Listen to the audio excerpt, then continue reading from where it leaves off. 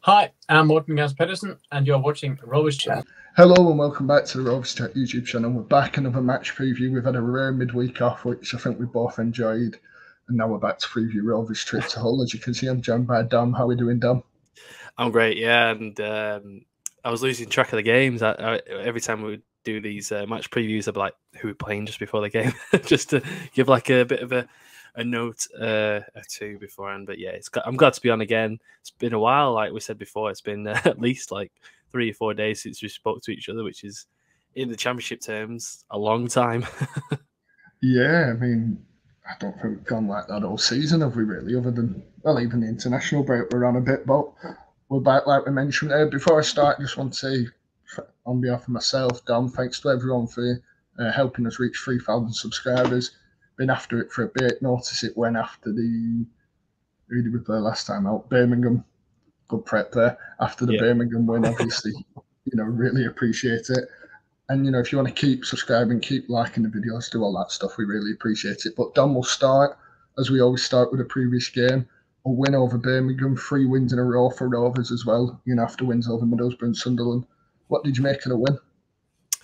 Yeah, it reassured, uh, reassuring the first half, wasn't it? And it, it was obvious that Rovers were always going to concede in the second half, make it the Rovers' way, you know, two one. And I thought Birmingham uh, were better than most people thought. I think that we were just going to turn them over after they scored, after we scored our second goal, um, and we're just lucky that we've got a international quality goalkeeper, you know in Kaminski, um, and he did fully deserves to go to the World Cup just for that performance alone. Yeah, absolute class, wasn't it? I don't know how he's done it in a week of, you know, the Middlesbrough save at first, and then that Birmingham one. He's basically four points at least, hasn't he? That he's won us, and you know, probably more because Birmingham probably should have won the game. Almost, it felt like that at one point that a goal were coming for them, and then we just hit them. But yeah, you know, we get the win. Rovers have been on the end of them games where we've dominated before and not won, so it's nice to get a win, nice to get one on the board, and a third one actually in a row, five at home. We seem to love Ewood at the moment, so you know we'll see how we go going forward. Obviously, you know we always look at team news on these previews, and again for the first four or five weeks of the season, even six, we weren't really discussing much, and now we're constantly discussing. You know, we spoke off air about the right back options uh, Ryan Hedges is a doubt. Callum Brittain might be back, but he's a doubt. And then it leaves us with, you know, a full centre back bunch, as you'd say, you know, with Ayala coming back and everything else. In terms of the right back, Dom, obviously Callum Brittain's in press. Ryan Hedges has played there, which I don't think any of us expected before, but he's not done a bad job there, has he? Does it you with them two out at right back that Rovers will struggle in that position, or you know, do we still have the adequate players to do it? Because we saw Travis obviously play there earlier in the season. Yeah, and you, you're forgetting Carter can also play there yeah. at right back as well. So I think that we are we're in a position now, and we've said this a few times on this channel recently that our depth in squad is something that we've not we're not used to, especially at the back. And um, we, we used to uh, Nyambe being out the last few seasons, and then we're, we're done for, aren't we? We got we've got Bennett or whatever, and and then like maybe a Buckley who's not you know used to the the. I think played there at Brentford away. I think my yeah, God, I do. Recommend um, them inside out. But right now we're looking minutes. at yeah, exactly, and we've got Carter. We could put it right back. We got Travis there. Obviously, Buckley can be there. Morton's played there at, at, at times this season we've got much strength in depth this season, and it's something that I'm not particularly worried about this season, unless we have someone maybe up front that could be, you know, like if we lose Gallagher and Diaz, then we're looking yeah. a bit weak. But other than that, I think in terms of depth, there shouldn't be a worry this season. No, I've been the same actually. I've kind of sat there and like, well, if one centre back's missing, we've got another one. If another one misses, we've got another player to come in you know, Jack Vale got his new contract during the week, which you know yeah. we've not spoke about. Credit, for, credit to our academy, isn't it? Like we're looking at, yeah. like I say, Jack Vale and um, Jake Batty as well this this this week as well, which um, was sort of lingering a little bit. And obviously we've got Ashley Phillips as well. Like it, it, it's a credit to our academy how much depth we got this season because finally the the, the few players that the last couple of seasons that we could maybe push forward are there in the squad now. Um, whether it is our fault or not, um, in terms of how little we've you know purchased in terms of transfers and that. But it, it is like a testament to the, the the category one and all the sort of coaches and Greg and John Dahl push them forward this season. Yeah, it's always nice isn't it? And obviously Adam Wharton getting his first goal in the last game that you know we mentioned on the review in the match section for that. Obviously Hull, you know, the horse on Saturday, good record there in re- in previous years, except for last year's shambles, as Bradley Dack described it. But we won't get into the uh, the politics of all that. That kicked off a few uh, let's say a few arguments, said at least between the two fan base. But you know, barring that, Rovers are really good there. I think it was Mowbray's best ground in terms of record at Rovers out of the ones he'd been regularly. You know, we seem to enjoy there. We see. I remember Jordan Rhodes' goal, uh, a late header there, and uh, that must be 2014 season under Bowyer. Right. Okay. Uh, and then the, the Bradley Dack goal there, the Derrick Williams header there. So, you know, some good. We've had some good away days there. Uh, you know, f off Derek. Of course, I forgot about that. I can't believe that's a bit I missed. Obviously, the f off Derek bit as well. The uh, clip that went everywhere for months and still goes around now. But you know, we'll look at Hull so far this season. Started off really well. You know, made a lot of summer signings, which I think we picked up on in the preview as well, and everyone kind of picked up on. You know, you got your likes of Nathan Baxter in there on loan uh, Xavi Simons, Harvey Vale.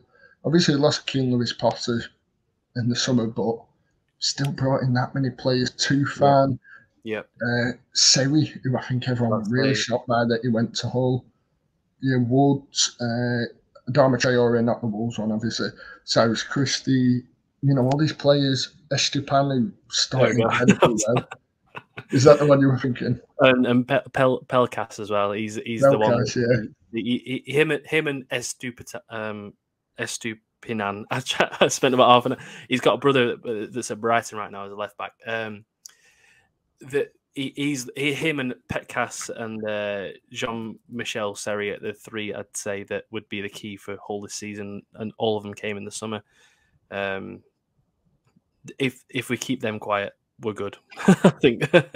Yeah, well, that's it, isn't it? You look at, I say these teams, and I don't mean that in a bad way at all, but, you know, sides that maybe aren't at the right end of the table yet, they might do by the end of the season, but you look at these and you're a bit more, it's the key players you look at stopping, isn't it? It's not like certain sides up there like Sheffield United and, and neighbours down the road that you think, well, they're full of quality. It's more the one or two players you kind of stop. And you, you look at the season so far, I mean, started really well, beat Bristol City, drew with Preston, everyone drew with Preston, uh, beat Norwich, drew at Burnley, and then lost 5 2 to West Brom, got back to winning ways against Coventry, and then it kind of just went downhill for them. Five losses in a row, then they beat Wigan, then they lose two in a row, then they win the last two, and they've no manager. And they haven't had a manager for a bit after Arveladze left in uh, 30th of September, it was. So, you know, basically a month they won't have a manager by the time we play them by the sound of it. So it's a weird one, isn't it, Dom? It's not often you go that long without a manager in this league, and they're obviously trying to get their ideas right. I think Yeah, Liam it- it Senior is- was Is it? it, uh, yeah, he's linked there, but obviously Andy Andy Dawson is it Andy Dawson. Yeah, I is think there- it's Andy They, Dawson. they've won- they've won the last two games, haven't they? They won they won away Yeah. at Rotherham, won away at Blackpool, and they've done a similar thing that we've done the last few games. They've not drawn in last eight or nine, something like that. It's uh, from looking at the, the recent results. Yeah, since the um, Burnley game. Yeah, exactly. So uh, it's not. I don't think a draw's on the card, is it? No, not a chat. Well, it probably is knowing Rovers. We love ending every sort of trend, don't we? Now we've got rid of this win loss, win loss. We know what we're like. But what we'll do now, uh, obviously, every show we get the opposition fan preview. I was joined by Ant from the To podcast, who discussed the Tiger season so far, the manager search, and everything related to Hull. So check that out here, and then we'll be back again for our predictions. Predicted exciting, predicted score. And as you can see, I'm joined by Ant from the To Hull and Back podcast. How are we doing, Ant? I'm all right, mate. You? Yeah, good. Thank you. Thanks for joining us. Well, really appreciate having you on. If anyone wants to check out the To Hull and Back podcast, I'll leave all the links below pretty easy to find it. Twitter, YouTube, is it YouTube as well? Yeah. YouTube everywhere. That's perfect. I'll leave everything below. Just go and check them out. So I'm obviously whole season. Now I remember at the start of the season, a lot of people optimistic about Hull's chances. I saw some of the signings they made, really impressed, you know, without being disrespectful to hold the signing a Seri. I thought, where on earth did that come from? You know, how's the season been in your eyes? Because obviously you see it a lot different to, you know, people on the outside. Yeah, I think as a City fan, it's been quite an eventful season. I think because uh, you know the last few years have been under your lambs and that, and not seeing any form of investment in the side, and just kind of limping over the line every season. I know we won the League One title, but you know the squad we had that was a realistic possibility anyway. Um, obviously, got the new owner in. Um, backed us well in the summer. We started the season well as well. You know, really good results. I think we were unbeaten in the first five games, sat joint top of the league or something like that. So obviously, with when you partner the the, the new takeover with good form and everyone gets a bit carried away and we're like, oh, we're going to win the league, um, but then got you know a bit of a reality check and and and lost something like six of the next seven uh, uh, without even scoring goals as well. It was, you know, it, it went from sort of euphoria to, to to real genuine worry that this season could be a bit of an expensive relegation battle. Um, thankfully, recent results have kind of steadied that ship a bit. Um, I do think the previous manager, obviously Shota Arveladze, was sacked. Um, I just he didn't really seem to fit um, the vision that, that that the owner's got with where he wants to take the club. Um, he didn't really know his best team. I know we've suffered a, a majorly with injuries, and we still are. Um, but you know, as a manager, it's your job to get the best out of the team that you've got. And Shota really wasn't doing that. You know, we were coming out of games where uh, we, we we could have played for four days straight and not look like scoring a goal, and, and would have leaked another twenty in that time. And you know, we're just it, it, we're in that recovery phase at the minute. Obviously, Andy Dawson, interim manager at the minute, uh, won three of his six games, so he's at a fifty percent win rate at the minute. But more importantly, is the performances have picked up. Uh, you know, we we're losing games under Shota, but we weren't playing well either. Whereas under Dawson, we have been playing well and we actually look like we're going to create chances, still leaking goals, but looking a bit more organised and conceding less than we were. So it, eh, hopefully the season's sort of getting on track now. Um, we, we put ourselves in a decent enough position to kick on and hopefully leave ourselves in a healthy position for the World Cup. Yeah, and you mentioned obviously the change of manager. No permanent manager yet. Is there anyone you specifically want? You know, I've seen uh, Liam Rosenior has been linked with a club seems to be the biggest link so far. Do you want him, uh, you know, or is there someone else you want to take the uh, hot seat? Um, for me, there isn't there isn't like one specific manager that I would look at and say, yeah, I really want this guy in. Um, for me, it's just anybody that's got any form of experience in, you know, the Championship League One. Um, hopefully, not another gamble on a on a on a manager from abroad. Um, Liam Rosenior would be a good hire based on the fact that obviously he's been here as a player before. Um, he knows the club. He's he's loved by the fans. He's got family in the area, which was part of his chant. Um, he can come in and he'll probably have Dawson involved in like his number two or in his coaching staff or something or other. So he'll have the the the, the knowledge of the players and their strengths from him straight away. And he's he's a very intelligent guy, as Rosenior. If you listen to him talk, how he how he conducts himself in the media, you know, he's very astute. He's very um, well spoken, and I think he he if Acun's choosing him as the manager, then his vision really does fit because you know the owners come out and said he's not going to rush and make an appointment um, because it, it, needs to be right with the vision. Um, the, the whole reason Shota got sacked was because they had discussions and, and their ideals went matched. Um, so if if, if Rosenior is favourite for the job, it means that he's coming in, he's saying all the things that Acun wants to hear. He's obviously wanting to come in, win games, entertain the fans. And that's been, you know, the well documented thing that he said on Sky Sports, where he said he'd rather lose uh, three uh, two than draw nil nil, which obviously points wise doesn't make sense. But the, the point he was making was he wants the fans to come to games and be entertained, you know, not play out a boring nil nil draw. Um, so yeah, I, am optimistic. If, if I'd be happy with Rosenior, um, I think the original plan was to get um, uh, who, who was just gone to Watford, but the, the owner had um, a, a, motorbike crash in Istanbul uh, and couldn't come over to do the interview, and then we lost out, and it sort of delayed things. So Dawson got a bit more time in the job than expected, but.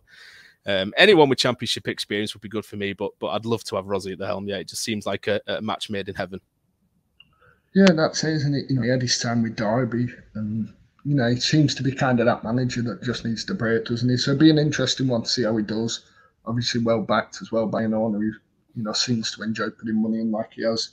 Uh, who's the players to watch for Hull this year? Because obviously, uh, I might butcher his name. Is it Estepan? Estupiñán. Yeah, yeah, he started really well, didn't he? Oscar, he did. Yeah. He started really well. He's on. He's on eight goals, so he's joint top scorer in the league. Um, the, the thing about Estupiñán is is I think if you put him in a team like a Norwich or a Burnley that create the amount of chances they do every game, he'd get you 25, 30 goals a season.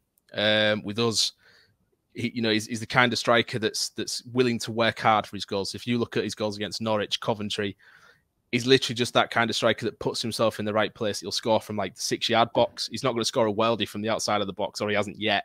Um, but he's he, he's kind of player that always puts himself in a position to score, or he will press the defense to make a mistake and he'll score from them. So, he, in in essence, he creates his own goals.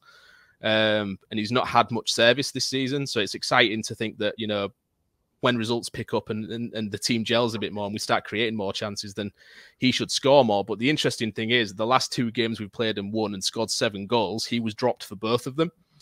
Uh, you know, Andy Dawson did quite a bold uh, team selection against Blackpool, where we essentially had five defenders and five midfielders, no striker. And it was like, well, what's going on? Where are the goals going to come from? Um, and we ended up scoring three. Uh, he played Ryan Longman up top, who's had quite a poor season. Um, uh, you know, was there was there was a big problem with you know fans were jeering him off at Huddersfield away. Um, you know, performances were bad, but it was borderline sort of abuse at that point, and you know fans are starting to feel a bit, you know, gone a bit too far with that. But he's come back, and it says a lot about his character and how he is as a person that he's come back and scored two and two now, uh, sort of playing as that lone striker. And you know Dawson's done a bit of a masterclass there. I, I think he's pushed um, Regan Slater and Greg Docherty up as like attacking midfielders, supporting Pelkas and Longman, and we, we scored seven goals in two games, and, and, without winning away all season, to win two away on the bounce like that was. Uh, you know, it shows we, have hopefully turned a corner in that sense. And the the Seri Woods partnership in midfield is sprouting very well. Uh, you know, they're both players that like to be in possession and dictate play. But in terms of players to watch out for, because I've, I've, meandered a bit there, um, would be um, Greg Docherty's on form. You know, he's he, he, he'd not started all season. The last two games, he's been phenomenal. Um, arguments can be made that he's been the catalyst to the last couple of games. His addition in midfield, his work rate, and his endeavour. Uh, Ryan Longman's got two in two, looking very good. Uh, Jacob Greaves, um, you know, a lot of interest in, in him from Middlesbrough in the summer, but we kept hold of him, signed a new year long term contract, and was actually deployed as a left back last couple of games, and he's got a goal and assist the last game doing that. So another one who, who potentially has found a, a, position that suits him a bit more. And you know the whole team's in form at the minute, but um, I think if you can isolate, I think our biggest danger man's going to be um, Seri, you know, you, if you give him time on the ball, he will control the game. So you, you, you know, if, if a team presses him, he, he kind of struggles in that sense. He, he, he will lose the ball and give goals away. But you know, it, on the other hand, he if you give him time, then he will hurt you. Like he, he played 33 games for Fulham last season and they won the league. So you know, he's not a bad player. Um, it was quite a coup, like you said, that we signed him. Um, a bit of a bit of a transfer story in that one because he, he, he changed his mind and went to Italy and then changed his mind again and came back to us. So quite happily we've got him. But yeah, he's been phenomenal for us so far, Seri, uh, finding his feet now and, and, definitely probably our main man at the minute. Yeah, I think he's the one I worry about. You know, we saw his talent. I mean, we're Barcelona linked with him two years ago or something. Yeah, I think it was before he went to Fulham. I think they were going to Barcelona wanted him, um, and I think he ended up going to Fulham or something other. But yeah, if Barcelona are linked to you, you're not a bad player, are you? No, you're okay, aren't you? Not too bad. So, you know, what are your thoughts ahead of Saturday? How much have you seen of Rovers this year? I know we've not been, you know, maybe Sky's big pick of the season. There's been other teams that have been on regularly, but you know, what do you expect from us? I, have watched a couple of games. I, I think the one that sticks out for me was was your game against Blackpool. Um, I think what I like about Blackburn this season is um, you, you you're kind of doing what we did in the last few years, where you've had to resort to bringing in some of your players from the youth academy. Um, and I think you know you've got a lot of young players in that team that've got a big future in the game. And the, the thing is with the Blackburn side at the minute for me is for 90 minutes they're going to work hard. So if if we're not at the races for 90 minutes, then we could get punished. So we've got to match that work rate across the game to get something from the uh, from the game. Um, obviously, you sat in third, um, season's going quite well. Um, we tend to do better against the better sides, which is a good thing. That's the slight form of optimism for us, and we're not on Sky, so that's good. Um, but no, this is a game where we've got to take our chances. Uh, we've got to get in front and have something to hold on to, and be a bit more defensively astute. Because at the minute, you know, we've only had one clean sheet all season. Uh, worst defense in the country, uh, concede on average about two a game. So as a Blackburn fan, that's probably nice to hear. But as a Hull City fan, it's yeah. every time we every time we're watching the other team attack, we just you, there's dread that, that this ball's going up in the back of the net some way or another. And we're not very good at defending set pieces. So if you've got big physical players, then, then we're probably in for a bit of a problem. Well, you mentioned the uh, you know putting chance away. Rovers, you know, have given away quite a few chances this game. You know, I know people don't like XG, but it kind of shows every game that we're mm. getting battered on it. Uh, and teams are getting chances. You know, keeper made some in the last week. He's probably saved us four points. You will get your chances, and if you take them, you know, be a different story. The final question: score prediction. You know, how do you expect the game will go? Do you think Hull are going to kind of dominate the ball, or do you think they'll leave us to it? And what's your score prediction? Um, possession wise, I'm not sure because the last couple of games we've actually been very good in possession, and I think that, like I said, that addition of basically having a midfield five of um, Pelkas, Slater, Docherty, and then Woods and Seri sort of sitting deeper allows us to to have the ball comfortably. Um, so I'm, I'm, hoping that we have a bit more of the ball, especially being at home and trying to take the game to Blackburn. Um, but we are very susceptible on the break. So us having possession means absolutely nothing at all, really, because we can have all the ball. You've got to do something with it. Um, we definitely don't clean sheet, uh, don't keep clean sheet. So we'll definitely concede at least one. Um, for score prediction, you see, I've been I've been changing my mind all week because the last couple of games say to me that it's going to be a positive result. Um, but I think we'll get a bit of reality check this game. I'm gonna I'm gonna go in the middle, and I'm gonna say it's going to be a one-one draw. Yeah, we've not drawn yet, so I don't know whether yeah. we take a draw. We're a strange side. We we're kind of all waiting for that draw, but who knows when it will come? We'll probably keep it going. A draw away from home, I think, when you're in third's not too bad, is it? I think you know, no, keeping and you're in good uh, form as well. Yeah, I mean, it, you know, if you take the last ten games out of consideration, we, have won three of the last six, so uh, we're not doing too bad, I suppose. Uh, but if you extend it a bit, we've only won three of that the last eleven. So whichever way you want to look at it, I suppose, which gives you the most optimism. Yeah, it's a strange one. But thank you very much for coming on. Really appreciate having you on. If anyone wants to check out the To Hull and Back podcast, I'll leave all the links below, but we'll head back into our preview now. And there we have it. Thanks to Ant for joining us. You know, really appreciate it. We'll leave all the links to, to Hull and Back below. But now it's time for our predicted outside. The bit I enjoy on the show. We've gone for it, as you'll see on your screen. Kaminski, Net, Carter, Ayala Hyam, Scott Wharton, Harry Pickering, a midfield three of Morton, Adam Wharton, Lewis Travis, and Gallagher and Brereton Diaz up front. Uh, we've discussed the right back situation. Obviously, with Ayala coming back in, we've kind of moved Carter to right back. Do you have the confidence in Carter to do that role well? Yeah, absolutely. When he was at right wing back at uh, against Watford, I know it's at home, but he looked so comfortable there, and he he doesn't look like a a boy in a man's team anymore. He looks like he's ready for this level, doesn't he? I think um, I think that was the rest of the team basically made itself, like you said. Like I, I, I, I literally wrote the same team as you, left them two positions out, asked you if Ayala was fit. You said yes. I was like, cool. I'll put a Carter at right wing back then. it made it easy. That's it. Three wins in a row. You know, the midfield three seems to work so well. We're away from home as well, which I think kind of boosts the reasoning from midfield three. So that's what we've gone for. It's pretty self explanatory in terms of performances. You know, everyone has performed for the last two or three games when they've been in the squad. So it's only right to keep the place, isn't it? And, you know, let us know below what team you'd like to see. Do you want to see us keep the same? Do you think we should go for a front three rather than a just a uh, quick, a just a quick three? one, just a quick one on that. Um, are you tired of the Dack chat? Because I feel like you've been speaking about it every single game. How like I feel like is it just a foregone conclusion now he's going in January?